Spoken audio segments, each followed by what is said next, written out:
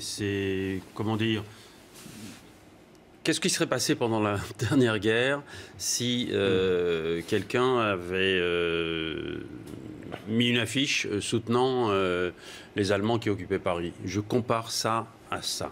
Voilà, c'est tout. Oui, mais alors c'est quoi la conclusion? La conclusion, c'est que c'est inadmissible, c'est inacceptable. Donc ça veut dire quoi?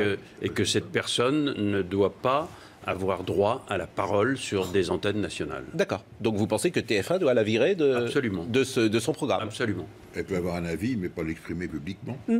Non, mais elle avait c'était avant quoi C'est la chasse au tweet d'avant. Hein. Elle l'a exprimé avant qu'elle ne soit candidate. Patrick Chen. La même chose. Non, non, pas du tout. Euh, d'abord, le tweet, c'est un piège. Tout le monde le sait. Hmm. Moi, je tweete assez fréquemment. On peut dire quelques bêtises.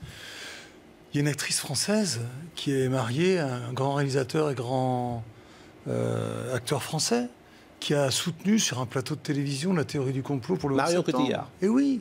Et alors, elle n'avait pas de voile.